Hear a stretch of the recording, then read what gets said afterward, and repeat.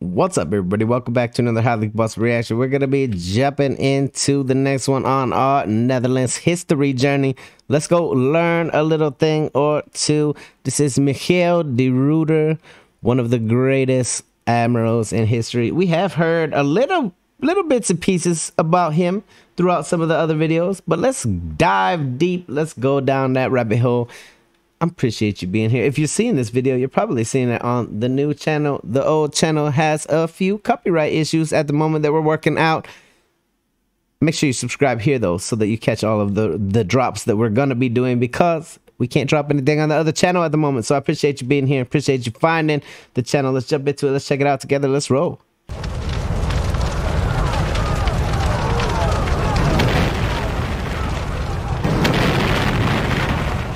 I'm saying, they know how to make it seem like a damn war just from a picture. Michiel de Ruyter was born into a family of modest means on March 24, 1607, in the city of Vlissingen in the Netherlands. His father was a sailor and later a beer carrier, which left the family with little money. A beer carrier was a legitimate profession? A beer carrier? Is that just like a modern day beer delivery man or his father was a sailor and later a beer carrier, which left the family with little money.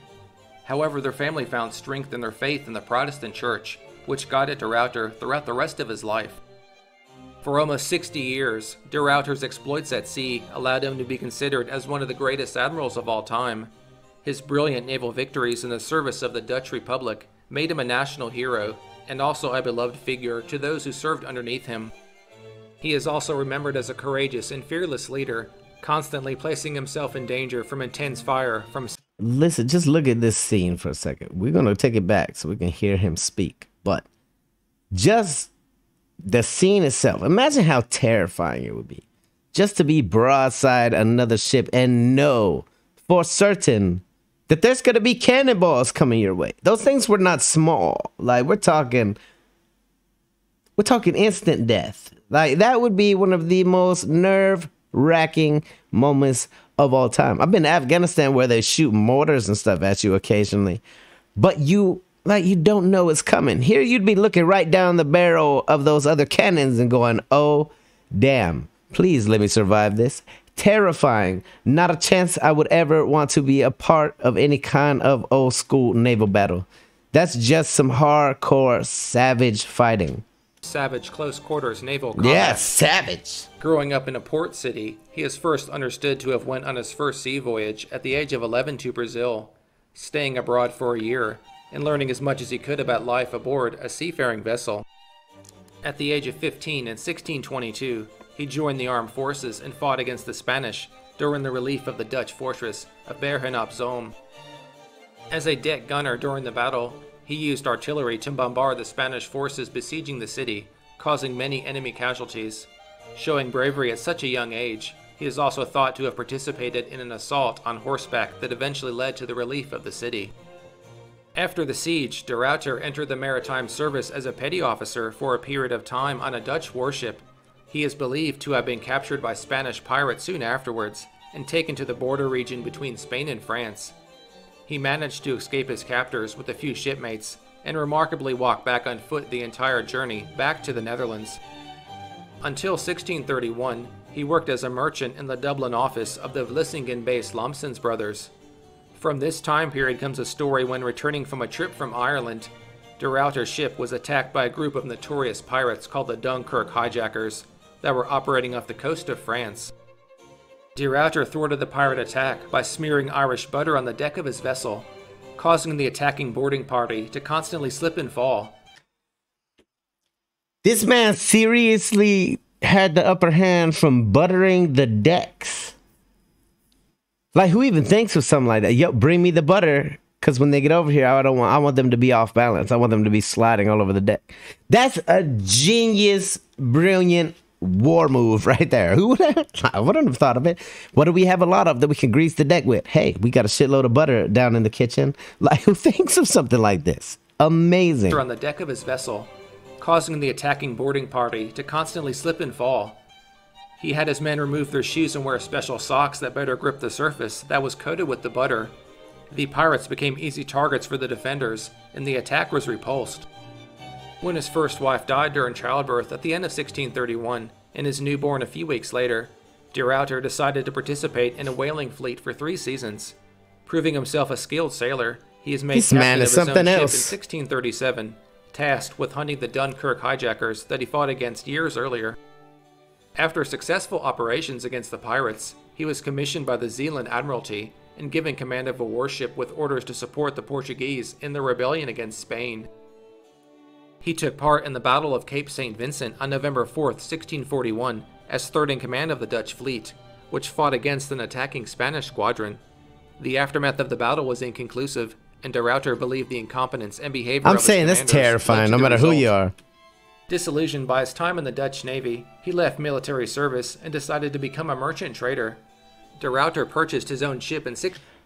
Uh, hey, you see though, he left the service and then still kept right on boating, kept right on get. He moved. We do a lot of the similar things today. We get out of the military and we do the closest thing that we were doing in the military a lot of times. That's very cool to know that. Hey, when he was done sailing, he wasn't done sailing. Like he just went out and did a different thing. military service and decided to become a merchant Very trader. cool. De Ruyter purchased his Probably more hardcore as a merchant trader. and became wealthy through trading from the Mediterranean to the West Indies. He routinely fought against the Barbary pirates and defeated them in numerous battles. His second wife died in 1650, and by 1652 he retired from the merchant service and married for the third time. He had intended to live out the remainder of his life in peace and quiet until he was convinced to come out of retirement to fight in the First Anglo Dutch War that had started later in 1652. The First War between the English and the Dutch marked He came back out of retirement to go back to war. That's how hard this dude was. That is extremely hard. crisis in the long standing rivalry between the two nations as leaders in world trade. De Ruyter finally had a chance to independently command a squadron of warships for the first time in his career at the Battle of Plymouth in August 1652. Although outnumbered close to 2 to 1, he defeated the English fleet that boasted some of the best sailors and gunners in Europe. The victory was unexpected for the Dutch, and the largely unknown De Ruyter became a national hero in the Netherlands. Serving under Lieutenant Admiral Martin Tromp for the rest of the war, De Ruyter participated in five more naval battles against the English fleet. Tromp died at the final battle of the war in August 1653, and De Ruyter was soon offered command of the Dutch fleet. Fearful that accepting the position would anger officers senior to him, he declined. He instead chose to become the vice admiral of the Amsterdam Admiralty. The war ended with a treaty in May 1654 with terms favorable to the English that also included major Dutch concessions. Off and on for the next decade, de Ruyter spent time protecting Dutch trade in the Mediterranean against the Barbary pirates. He routinely freed Christian slaves from the defeated Barbary ships, further enhancing his reputation. In July 1656, the Dutch joined an alliance with the Danish in the northern wars against the Swedish Empire. De Ruyter I can't imagine having served during a time that was so savage on the seas. However, if I was serving, you damn right I want to be under somebody like him. I want to I want to be under somebody that's known, someone that people know that hey, you don't mess with that dude. Don't try to attack his ships. Like for real, he's just gonna. That's not the one. Like that's the person I want in charge. That's the that's the person I want and captain of my ship. joined an alliance with the Danish in the northern wars against the Swedish Empire. De Ruyter and the Dutch fleet sailed to relieve the besieged city of Gdansk on July 27th without any bloodshed. He was involved in a blockade against Portugal when he was called to battle against Sweden again in 1658. He led a naval relief force to liberate the Danish city of Nyborg from Swedish occupation in November 1659. In the battle, De Ruyter's fleet deployed amphibious assault troops and small ships that successfully attacked the Swedish held fort. A few years later, these kinds of troops would officially become the Dutch Marines, with De Ruyter being one of their founding fathers. In 1664, he fought the English off the coast of West Africa and recaptured Dutch forts that This man's entire life was hardcore. Even after retirement, it was hardcore. had been taken earlier by the English. Crossing the Atlantic in 1665, De Ruyter was informed that the Second Anglo-Dutch War had begun. Sailing to Barbados, he attacked the English forts and destroyed shipping in the harbor. Turning north, he raided Newfoundland before crossing the Atlantic and arriving back in the Netherlands. Holy At the Battle of Lowestoft in June 1665, the current leader of the combined Dutch fleet, Jacob von Wassenaar Obdam, was killed. De Ruyter was asked again to take command of the Dutch fleet, and he finally accepted in August 1665. He led the Dutch to victory at the Four Days Battle the following June in his first engagement of the war. De Ruyter's tactics depended on disciplined maneuvers to achieve victory against his enemies, but often his subordinates or fellow squadron commanders failed to follow strict orders. This can be seen when he narrowly avoided a catastrophe at the St. James Day battle in August 1666. The Dutch were beaten in the battle, but de Ruyter managed to save the Dutch fleet from greater destruction with a skilled withdrawal. The Dutch squadron commander, Cornelis Tromp, was dismissed after the battle due to negligence for separating his force from the main fleet to pursue an attack on the English. The Dutch fleet soon recovered, and the following year saw the most famous and daring naval attack of de Ruyter's career in June 1667. The Dutch government wanted an overwhelming victory to end the war, so a daring raid on the English homeland was conceived and then led by de Ruyter. Sidelined from earlier in the year due to a serious illness, de Ruyter recovered in time to oversee the daring mission. On June 12, 1667, de Ruyter led a fleet of 60 ships into the mouth of the Thames River before going south. I don't think like when they say 60 ships, a lot of people can't fathom that. Like a lot of people will say, "Oh yeah, 60 ships. That's not a lot." If you've ever seen like there's a lot of people out there that have never seen the ocean, that have never seen a ship in real life. They've only seen it on paper. Like, they're not small. 60 ships in any kind of a formation heading towards you would be terrifying. Unless you've got 600 ships. Like, woo. South. He took the town of Sheerness on the Medway and then sailed inland toward the dockyard at Chatham. The English were completely taken off guard by the attack on its home waters. The English had blocked the navigable channel with a chain stretched from shore to shore, but Dutch engineers broke through the obstacle fairly quickly. Beyond the chain, the English navy stuck in port was defenseless against attack from the Dutch fleet.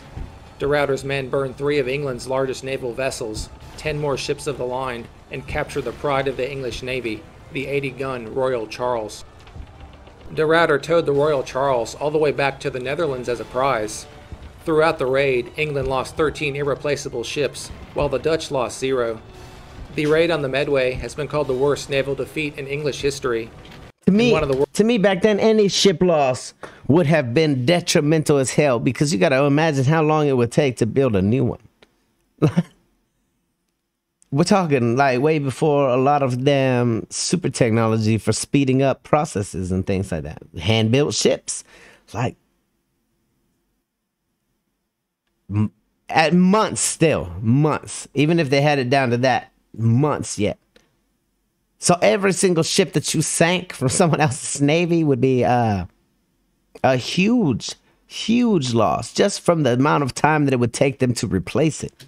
Worst humiliations it has ever suffered in its home waters.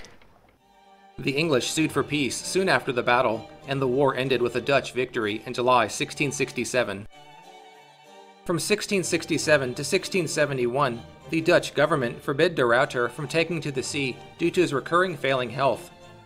However, the Third Anglo-Dutch War started the next year in 1672, and de Ruyter led the fleet to defend the Netherlands against a planned English invasion.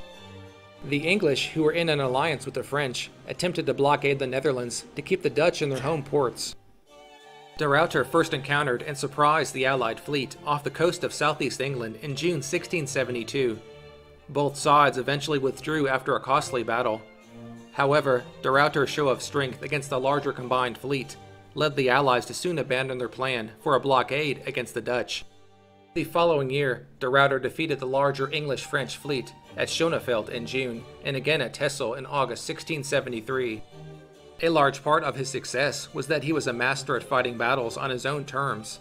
By then, absolutely. Larger enemy fleets into smaller groups with skilled maneuvers.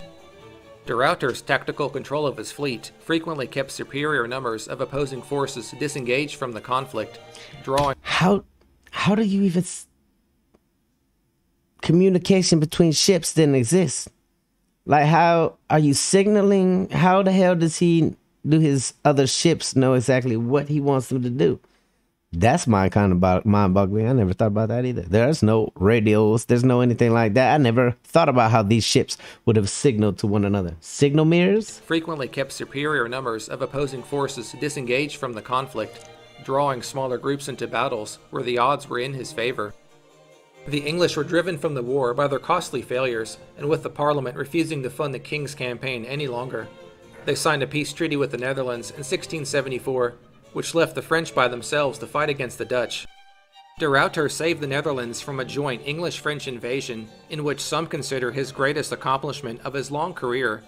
His brilliant naval victories in the Second and Third Brilliant is an understatement. enabled the Netherlands to maintain a balance of power with England. De Ruyter sailed to the Caribbean to attack French possessions in mid 1674, but returned to Europe when his ships were stricken with disease. In January 1676, he commanded a joint Dutch Spanish fleet in the defense of Naples at the Battle of Stromboli that ended indecisively against the French. Three months later, de Ruyter clashed again with the French at the Battle of Augusta. During the fighting, he was mortally wounded in the right leg by a cannonball. Both sides withdrew from the battle when hearing of de Ruyter's condition. Clinging to life for a week, he died on April 29, 1676. On March 18, 1677, De Ruyter was given a full state funeral and was- Look at this procession. The man, that's a ridiculous, just life story. Being through so many, the man survived everything disease on ship, cannonballs, like the whole nine yards. He lived through it all and then went back to do it again when he could have just retired in his little cozy villa and said, I'm done, he went back when his country needed him. Like that's some true, that's a true patriot right there. A damn fine patriot. I could definitely see why he would be hailed as a hero.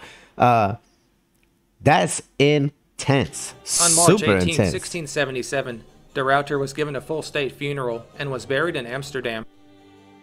He is remembered not only as a brilliant admiral, but also as one of the greatest and most beloved national heroes in the history of the Netherlands.